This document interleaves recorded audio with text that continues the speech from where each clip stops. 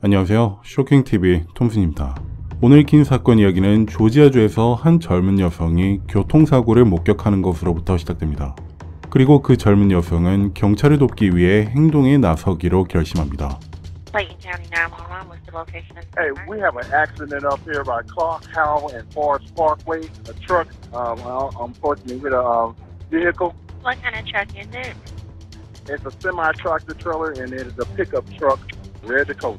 2019년 5월 7일 오후 6시경 조지아주 클레이튼 카운티에서 일어난 일입니다. 닷지 다코타 픽업 트럭이 빨간 신호를 무시하고 다른 트럭이 끌던 트레일러를 들이받아 반파시키고 그 자리에서 멈춰섰습니다. 그리고 이 충돌을 목격한 조지아주 교정국 교도관 테리 로빈슨이 911에 전화를 했습니다. Okay, does it appear that anyone's hurt or injured? Sir, you, you need assistance? You need an ambulance? Sir. Yes, sir. It's so steady. You need an ambulance assistance? He's not saying anything. Sir, you okay? 그 픽업 트럭의 운전자는 곧 62세의 케네스 헤링으로 확인되었습니다. 신고자인 테리는 헤링이 제정신이 아닌 것처럼 보인다고 말합니다. 알코올이나 마약의 영향 때문인 건 아닌 것 같고 오히려 의료적인 도움이 필요한 상황에 빠져서 어려움을 겪고 있는 것처럼 보인다고 말하죠. 이렇게 테리가 911에 신고를 하면서 경찰을 기다리는 동안 그도 모르게 또 다른 목격자가 그 옆에 차를 세웁니다. 그녀는 21살의 한나 페인이었습니다. there was just an accident. I'm sure they've already called, uh, but I was just I just witnessed it, and I just wanted to make sure that I called the police as well in case they didn't. We appreciate you calling this in. We'll get someone out there and try to assist them. 그녀는 사고 현장에서 도움을 주기 위해 멈췄습니다. 그리고 사고를 낸 해링이 마약을 했거나 술에 취한 사람이라고 생각합니다. 하지만 테리는 계속해서 해링을 관찰하면서 의료적 문제를 겪고 있기 때문에 도움이 필요할 수 있다는 확신을 갖게 됩니다. 하지만 20분이 지나도 경찰이나 구급차가 도착하지 않자 테리는 다시 911에 전화를 겁니다. The driver who caused the accident, I think he's. Uh, something's going on with him. Then, then he's moving his ears. He's going to drive off now. He's driving off. He's driving off. 테리는 근처에 서 있던 한나에게 소리칩니다. Take a picture of the driver license. Take a picture quick, quick, quick, quick. What's the tag number? Ready? Now the other driver who was in, and, and she's going to um, take a picture of the Okay. The lady in the jeep was almost in the residence, so she turned around and she went after him. So she's going to take a picture of his vehicle and stuff. 911 통화에서 보면 교환원이 차량 넘버가 필요하다는 요청을 한 것으로 볼 수 있습니다. 그래서 이미 도망친 차량의 넘버를 파악하기 위해선 따라가는 수밖에 없었습니다. 그래서 한나는 이 차를 따라가서 넘버를 파악하는 것이 정당하다고 판단하고 그 픽업 트럭을 쫓아가면서 다시 911에 전화를 겁니다. Hold on, I'm driving away. Um, a red Dodge Dakota. Give me Mm-hmm. one second. Hold on, and I'm catching up to him right now. Okay, ma'am, we actually do not want you to chase him. We just want you to be safe. And it's I understand. chase. I understand 100%. I'm just gonna get the tag number. 911 교환원은 처음에 위험할 수도 있으니 한나에게 쫓아가지 말라고 당부합니다. 하지만 한나는 멈출 생각이 없어 보입니다. He is drunk. I'm not. I'm not. I'm sorry, but I'm here to tell you I'm not. Not gonna follow him. Um, because he is going to cause another accident. 한나는 자신의 지프 차량으로 픽업 트럭을 가로막고 해링을 멈추게 합니다. 이제 그녀는 차량 넘버를 파악하는 것을 넘어 마치 경찰처럼 해링을 체포해야겠다고 생각한 것이었을까요? 그리고 911 교환원은 한나에게 더 쫓아가지 말고 그냥 안전하게 있으라고 말합니다. 하지만 그녀는 멈출 생각이 없어 보입니다. Okay. So, if you can go back to that location where the incident happened, it's because someone is actually on the way to you guys now. So I will stay behind him until an officer can get to us. But until then, um, I'm not moving. 한나는 여전히 911과 통화 중인 상태에서 차에서 내립니다. 그리고 그녀는 해링에게 차에서 내리라고 계속 소리치고 고함을 치기 시작합니다.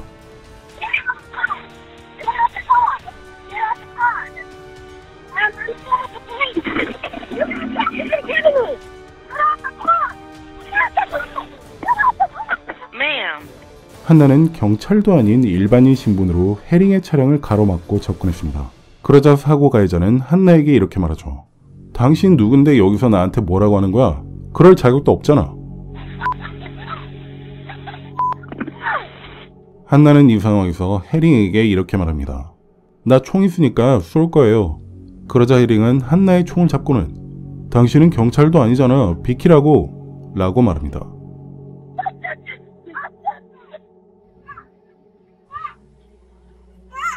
이렇게 총을 두고 씨름하는 동안 갑자기 총이 발사되는 소리가 들립니다. Ma'am, Yes. ma'am, he just pulled the trigger of my gun in my hand while he was, while he was, I need a Ma'am, police you were not officer supposed to now. follow him. He hit my car. 이 말을 듣게 된 911 교환원은 매우 심란할 수밖에 없었습니다. 계속해서 한나에게 따라가지 말라고 했으니까요. 그리고 결국 이렇게 또 다른 사고가 터지자 한나는 교환원에게 경찰과 구급차를 보내달라며 소리칩니다. There's a police officer down the street. Tell them to come up here now. He pulled the trigger on my gun after he attacked me. Tell the police officer to turn around from the 285 entrance and come up here immediately. There's an ambulance! 그리고 클레이튼 카운티 경찰이 현장에 도착합니다. Who shot? Him? Right there in the Jeep. She got a gun. She just shot him. I don't have my finger on the trigger. Has he gave me other guns in the car? No, I don't. 경찰은 한나의 총기를 압수하고 현장에 있던 목격자들과 이야기하며 무슨 일이 있었는지 확인하려 합니다. Man, she reached in the window and everything, confrontational. And shot that man. He had to shoot that man like that. 경찰은 한나에게 수갑을 채우고 경찰차에 태웁니다. 그리고 현장에 있던 다른 경관과 구조대원은 해링을 살리기 위해 노력하며 병원으로 이동합니다. 그리고 경찰은 최초 신고자인 테리를 인터뷰하기 시작합니다. After that initial um, accident over there, how was the guy that was out there? He was in here. He was something going on, man. His eyes were red. Um, he was acting delusional. He was acting, you know, kind of out of it. 테리는 해링을 처음에 봤을 때 뭔가 잘못되었다는 걸 예상하고 있었습니다. 하지만 어떤 병으로 인해 그런 것인지, 충돌 때문에 생긴 의료적 문제인지는 모르고 있었죠. There's a bunch of needles in in his car, so I don't know if that's diabetic related and that's why he hit the cars or what. They said he was not looking good. They took him to Southern Regional. 해링은 많은 형제자매들 사이에서 첫째로 일종의 아버지 같은 존재였습니다. 그래서 그의 가족은 해링에게 평생을 정신적으로 의지하며 지냈기에 이 소식을 듣게 된 그들은 크게 우려할 수밖에 없었습니다. 그리고 수갑을 찬 채 경찰차에 있던 한나는 경찰국으로 이송되어 형사들과 자리합니다.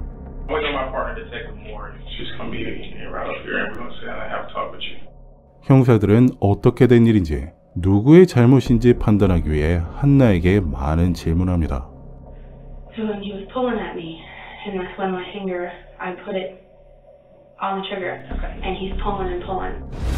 So when he was pulling at me, and that's when my finger, I put it on the trigger, and he's pulling and pulling.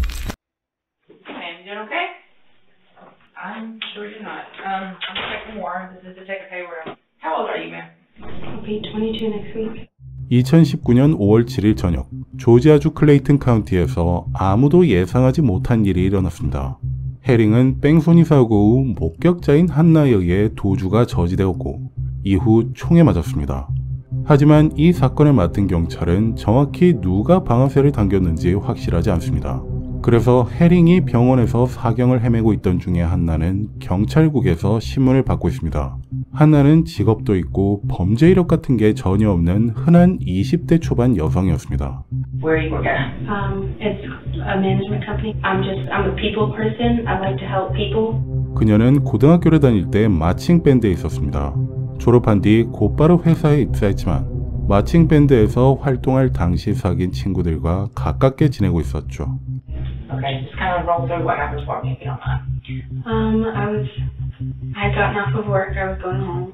There was a semi that was in the lane to the right of me, and he was a little bit further in the intersection than I was. Um, right, the light was green for us, and um, out of nowhere, this guy came barreling through the intersection, and luckily I stopped barely in time, but he ran into the semi. 한나가 처음 911에 전화를 했을 때 그녀는 해링의 차량과 트럭 사이에 일어난 추돌 사고를 신고하고 있었습니다. 그리고 두 번째로 전화했을 때는 해링이 그 사고 현장에서 그대로 차를 타고 달아나려고 할 때였습니다. Dispatch answered, and that's when I was on the phone with her when he took off. So I got in my Jeep and I followed him and I told the dispatch that I was following him and she told me that she didn't advise it. And I told her, I said, I'm just getting his tag number. I got the tag number by the time we got to the end of, right when I got to Riverdale Road. Um, and we came around that curve and I had an opportunity to get in front of him. 교환원은 한나에게 쫓아가지 말라고 했습니다. 하지만 그녀는 교환원의 말을 무시한 채로 쫓아가서 해링의 차를 가로막고 세운 뒤에 총을 들고 실랑이를 하다가 결국 해링의 목숨이 끊어졌던 것입니다. 결과적으로 보자면 그 누구도 한나에게 쫓아가서 제압을 해달라, 대신 체포를 해달라라는 요청을 한 적이 없는 게 되는 겁니다. What made you cut him off still after getting the tag number? I'm not, I'm not a just, oh, it wasn't me type of person. I, I'm What you uh, explain that? my entire life until I was 18 and my grandfather passed away, I was going to be a police officer. And considering the fact that I was almost involved, it just, it, it threw me. 한나의 말을 보자면 경찰이 되고 싶어 했던 마음이 이러한 행동을 하도록 어느 정도 동기를 부여한 것처럼 보입니다. 당시 조지아주에서는 시민체포법이라는 게 있었습니다. 말 그대로 시민이 다른 시민을 체포할 수 있는 법인데 이건 중범죄를 저지르고 있는 시민을 발견했을 경우 합리적인 수단으로 그 시민을 구금한다면 법적인 책임을 피할 수 있는 법이었죠. 하지만 시민체포법의 그 어디에서도 살상 무기를 이용하여 구금하라는 내용은 없었습니다.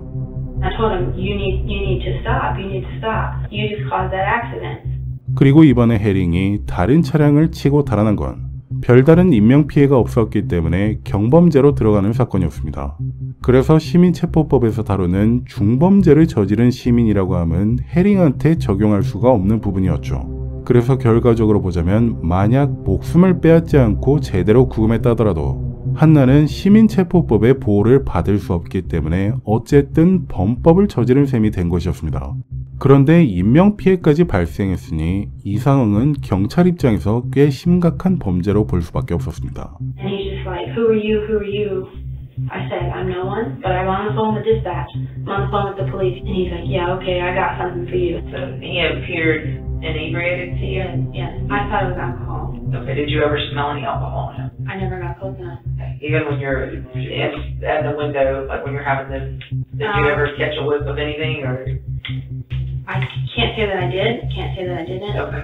한나의 말에 따르면 해링은 분명히 방향 감각을 잃고 제정신이 아닌 상태였습니다. 그래서 경찰 배지나 신분을 밝히지 않은 모르는 사람이 다가와서 차량을 가로막고 접근했다면 무척이나 혼란스러웠을 겁니다. 하지만 문제는 한나가 마치 경찰처럼 강압적인 어조로 욕을 섞어가며 명령했다는 점이었죠. 이 상황에서 한나는 아마 경찰을 제외한 그 누구의 명령도 듣지 않았을 것처럼 보이기도 합니다. I don't know with what hand, how he lunged at first, but when Okay. he lunged, it hit my phone. It Okay. knocked it out of my hand, and he grabbed Knocked me it out the, the ground? around, yeah, Okay, and it shattered the screen. okay, Um, and then he grabbed me because he's pulling at me, he's tugging. okay. So he's pulling, we're going back and forth. He's hitting, he's swinging. I'm trying to hit, but I'm also trying to pull away. And that's when he pulled Wait, he pulled forward how? Like, his car went how far forward? to all the way forward to my Jeep. So it struck your Jeep? It did, yeah, it Okay. did it. 해링과 한나의 대치 중에 몸싸움이 있었습니다. 사진으로 볼 수 있는 것처럼 그녀의 셔츠는 꽤 많이 찢어졌죠. 그리고 실제로 해링은 이렇게 말다툼을 하고 있던 중에 다시 달아나려고 시도하다가 한나의 차량을 박았습니다. 그래서 형사들은 한나가 아끼는 차량을 부숴버리려고 하는 해링에게 순간적으로 화가 나서 총을 꺼냈을 거라 생각하였죠. 또한 언성을 높여가며 지시했지만 그것에도 불응했기 때문에 아마 이 분노는 더욱 커졌을 것으로 봤습니다. I told, I told said, I had a gun and that I would shoot him. He's like, yeah, okay, shoot me, shoot me. 한나는 정당방위를 주장했지만 정당방위의 기본 전제 조건은 최초 공격자가 내가 되어서는 안 된다입니다. 만약 상대방이 총을 들고 겨누는 상황이었을 때 똑같이 총을 꺼내서 겨누거나 쏴버렸다면 법정 다툼으로 정당방위를 가릴 수 있겠지만 지금 이 상황은 절대로 그렇게 볼 수가 없는 상황이었기 때문에 정당방위는 말도 안 되는 주장이었습니다. 게다가 법적으로 본다면 오히려 최초 공격자는 차량이라는 흉기를 사용해서 해링의 앞을 가로막은 한나가 되니까요. And when you pull it out, what do you do with that gun? I loaded it. Alright, so you racked the chamber. I did, which, sorry, it's just, I know it's hard. Take, take your time getting to it. I never thought I would. Nobody ever does. It's okay. 한나는 자기가 직접 겪은 일을 다시 한번 머릿속으로 되짚어보려 노력하고 있습니다. 이런 일이 자신 때문에 일어났다는 것을 어제만 하더라도 상상할 수도 없었을 테니까요. 한나는 시간이 흐를수록 최대한 정직하게 답변하려 노력합니다. And I had it in my, my gun in my hand. Uh-huh. Are you pointing at him at this time? I'm not pointing it at him, but I'm not pointing it away. He grabs my hand with the gun. He's pulling at it, and he's pulling at the trigger area, in the trigger. His hand is in the trigger guard? His hand is in the trigger guard, yeah. Okay. What kind of gun do you have? Springfield, 7 XD, 9 millimeter. I bought it for protection. Did you take any training classes with the gun, or is it just something that you? Um, it wasn't, I didn't take any sketch, like scheduled training. Personal, like, like, okay. Professional, yeah. Okay. Um, I mean, I've been to the range. I grew up shooting guns. Mm-hmm. Um, 한나의 차량에는 최근에 사격장에서 표적지를 쏘았다는 증거가 있었습니다. 게다가 총기 훈련에 관한 책도 있었죠.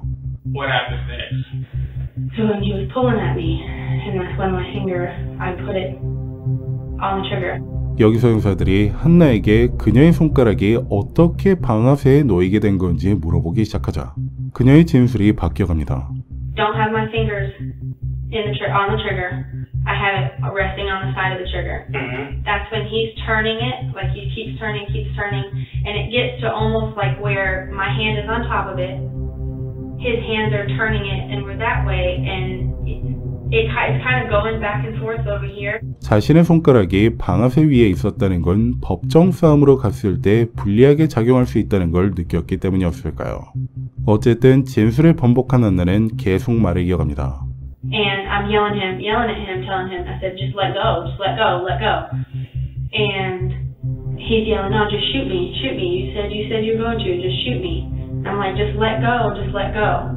That's when his hand and my hand, my fingers were, In the trigger guard. they were at the trigger guard. And he had had a hold of the trigger, and the trigger was pulled. That's when it went off. When gun went off. How many shots were fired? Just one. Just one. 이렇게 형사들에게 진술을 하고 있던 사이에 병원에서 수술을 받고 있던 에링은 복부의 총상으로 인해 결국 사망했습니다. 그리고 해링의 혈액을 검수한 결과 그는 알코올이나 마약에 취한 상태가 아니었습니다. 다른 말로 하자면 의료적 도움이 필요한 상태였다는 것입니다. 그런데 그런 해링에게 한나가 길을 막고 총으로 위협하다가 결국 복부에 총까지 발사하게 되었다는 말이죠. 정확히 누가 쏜 건지는 모르겠지만 일단 형사들은 한나가 진술을 번복한 점을 토대로 그녀가 쐈다고 생각하고 살인 혐의로 체포한 뒤 기소 신청을 냅니다. 검찰도 여러 목격자들의 증언과 진술을 번복한 점을 놓고 기소를 진행하였고 대배심에서도 이 기소를 승인합니다. 하지만 한나가 직접 방아쇠를 당겼다는 검찰의 주장을 뒷받침할 수 있는 물적 증거는 어디에도 없다는 게 문제였습니다. 한마디로 매우 어려운 사건이라는 것이죠.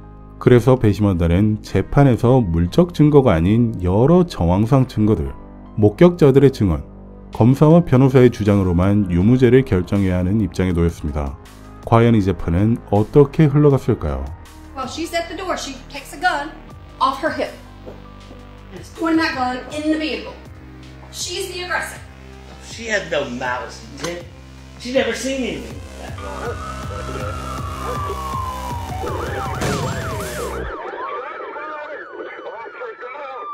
2023년 12월 6일 조지아주 클레이튼 카운티 고등법원에선 코로나19로 인해 4년이나 지연된 해링 총격 사망 사건의 재판이 마침내 시작됩니다.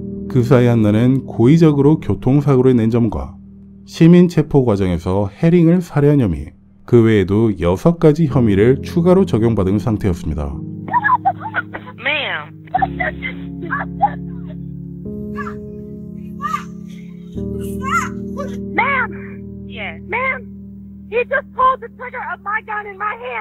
이제 25세가 된 한나는 가석방이 없는 종신형을 받을 수도 있는 상황에 직면했습니다. Defendant Hannah Renee Payne had the audacity to chase, corner, detain, assault, shoot, and kill an unarmed 62 year old Kenneth Harry who was sitting in his own car. All because she didn't like his driving. She didn't like how he acted. And after she shoots him, she picks up the phone with the 911 operator going, he pulled the trigger on my gun and shot himself. That's the level of audacity you're gonna hear. 재판 시작부터 검사는 아주 날이 선 발언을 날립니다. We got a situation, it's a tragic situation, because one man has lost his life, and the other person has lost their chance to ever really live a normal life. She's never seen anything like that. 21 years old. There's only one conclusion you can come to, and that's that she was following, as naive as it may be, and some may even say as dumb as it may be. Her intention was good as she followed the direction of authority. This is a young girl doing what she was told to do. And I believe once the evidence is done, you'll be able to let her know she's not guilty. 이러한 변호사의 주장은 배심원단에게 그리 크게 와닿지 않을 것 같습니다. 9.12 교환들은 통화 중에 총 4번이나 쫓아가는 행동을 하지 말라고 부탁했기 때문이었죠.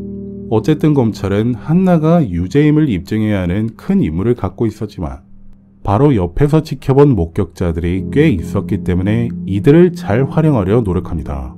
Now, when the defendant jumped out of the Jeep and headed toward the Dodge Dakota, what, if anything, did you hear her say? I heard her saying, get the F out the car. She just kept cussing at him, get the F out the car. 검찰의 가장 강력한 증거는 거의 모든 각도에서 지켜본 목격자들이 있다는 것입니다. 그래서 한나 입장에선 목격자들이 보지 못한 또 다른 일이 일어났다고 주장하긴 힘든 상황이죠.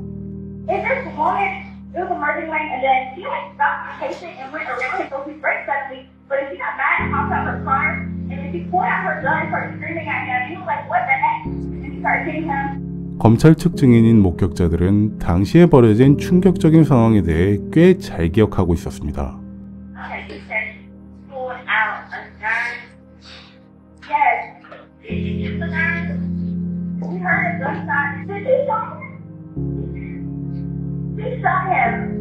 보통 어떤 살인 사건이 발생했을 경우 한 명의 목격자도 없는 경우가 허다한데 이 사건에선 총 6명의 목격자가 가까이서 그 상황을 목격했기 때문에 꽤 이례적인 사건이라 볼 수 있었습니다. What did you observe happening that drew that your attention? Um, I just seen her outside hitting on his window or his car door. Um, and that's what made me just pull out my phone. Where is um, Miss Payne standing when you see her? She was actually standing at the guy's driver door, What did you see her doing at that driver's door? uh, yelling, hitting on the window, hitting on the door. As I was recording, uh, I heard a gunshot. 해링은 확실히 비무장 상태로 자신의 차량에 앉아 있었습니다. 그런데 한나는 그러한 해링에게 욕설을 하며 명령을 하고 총을 겨누기까지 한 것이죠. 대부분의 목격자는 해링이 어떤 반격도 하지 않았다고 증언합니다. That's what shocked me made me stay there because he wasn't fighting back. 한나는 신문 중에 이렇게 말했습니다. 해링이 자신을 때리거나 잡아당겼고 그래서 옷이 찢어졌다고 말이죠. 그런데 어떤 목격자도 그러한 해링의 모습은 본 적이 없다고 증언합니다. Um, I kept saying to myself, I hope she don't shoot him. And when I heard the gunshot, he looked at me, and I looked at him. He just looked shocked. He just looked shocked. 이러한 목격자의 생생한 증언은 꽤 치명적인 것처럼 보입니다. 하지만 변호사는 사건이 일어난 지 4년이 지난 현재까지 그 기억이 정확한 게 맞는지 의문을 제기합니다. While she's in the window, Yes, you can't see anything beyond the window, correct? yes, You can't see any hands, you can't see what's going on because from your testimony, she's in the window. yes. Okay. So, how could you see her hitting him?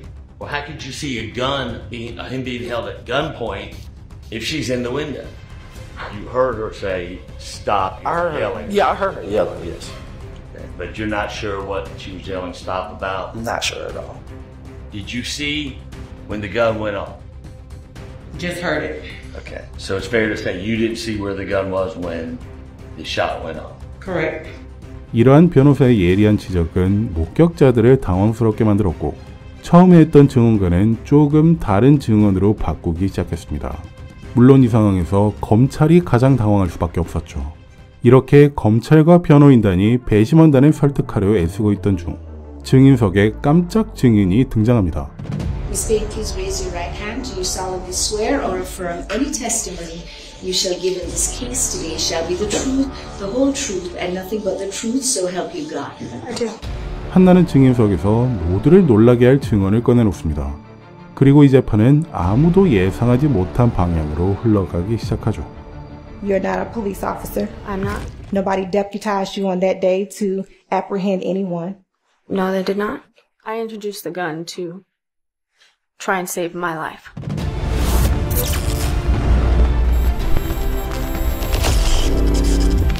So in the initial incident, your vehicle was not struck, correct? Correct. So there was no reason for you to interject yourself. So, for me to have interjected myself to begin with was me doing something that I would have wanted someone else to do for me, which was to be a witness for an, what I thought was an accident.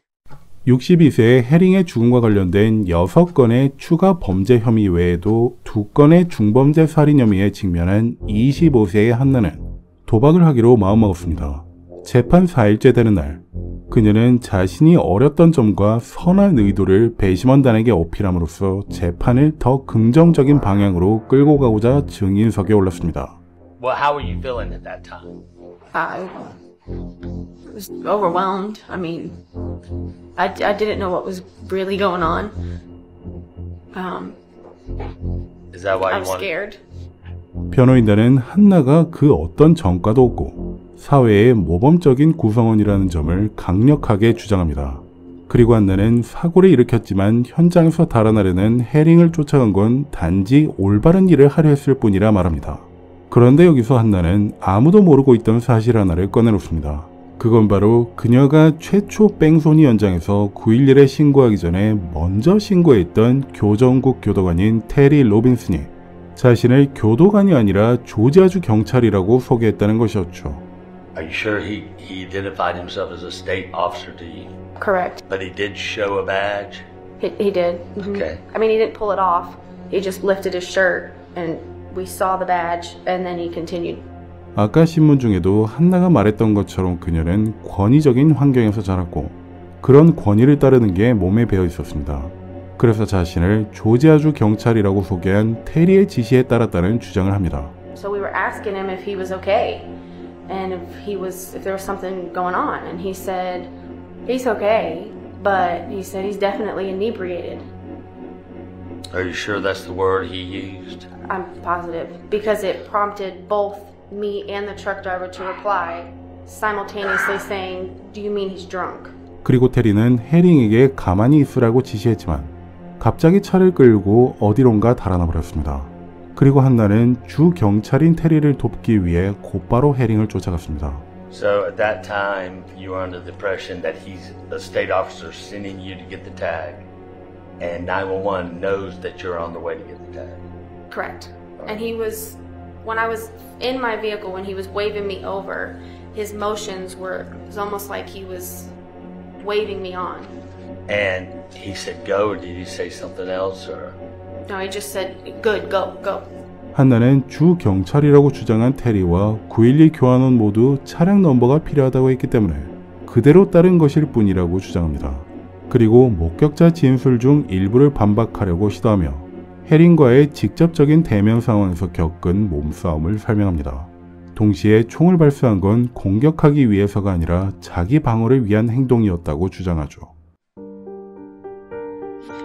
He was pulling my wrist and he pulled me in the vehicle. And he kept yelling at me, telling me, I have something for you. Um, and he used, I have some, pardon, but I have something for you. And he's leaning and he's reaching and he's pulling. And at this point, I remember that I'm I'm sorry. Take your time. 변호사와 한나는 그때 모든 상황은 고의적으로 저지른 사건이 아닌 실수로 일어난 사고였을 뿐이라는 주장을 합니다. I remember that he had let go of my wrist and he grabbed me by the back of my neck. And it was as if he was trying to kind of keep a hold of me. Um, I'm telling him to let me go. And that's when he hits the gas and we go forward. When you are being held against your will and you have no idea what's ahead of you and you're looking down, it felt like it lasted forever. It was like I saw my, like my life flash before my eyes, and I thought I was going to go down Riverdale Road, 한나는 창문에 매달린 채 끌려가고 싶지 않았고 너무도 큰 위협을 느꼈습니다.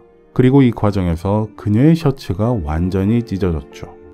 Was it torn when you were wearing it that day? When uh, 한나와 변호인단은 찢어진 옷을 이용하여 해링의 공격적인 행동에 위협을 느꼈다는 점을 강력하게 주장했습니다. 그리고 이 과정에서 총이 발사된 것이라 주장합니다. As he's turning it towards, like that way, I'm being pulled and pulled, and I can feel myself like pressing up against the car, like my face is up against the door. And as he's pulling it, is when it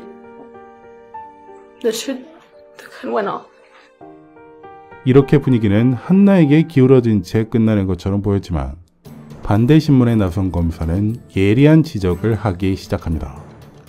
And the 911 dispatch indicated to you approximately four times to either not chase Mr. Herring and go back to the scene, correct?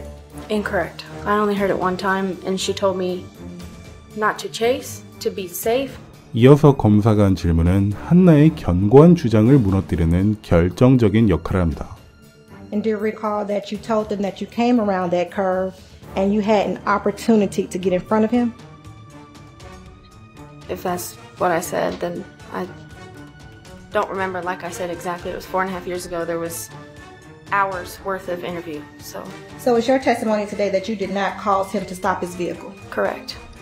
경찰과의 신문 당시에 한나는 커브를 돌면서 해링을 앞질러 갈 기회가 있었기 때문에 차를 세웠다고 진술했었습니다.